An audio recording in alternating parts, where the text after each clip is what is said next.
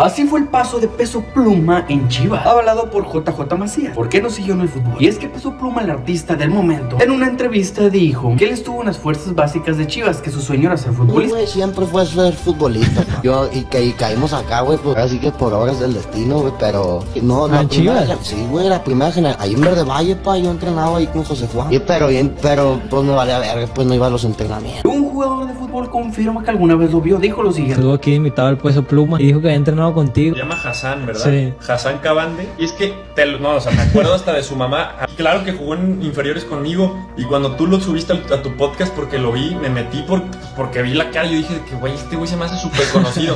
Volaba, dice que era rápido. Güey, era buenísimo, te lo juro sí era buenísimo, pero su perfil de ese entonces al de ahorita Nada que ver. Pero bueno, ¿tú qué opinas al respecto? ¿Qué hubiera pasado si hubiera cumplido sus sueños de futbolista? Algo así nos promando noticias del mundo.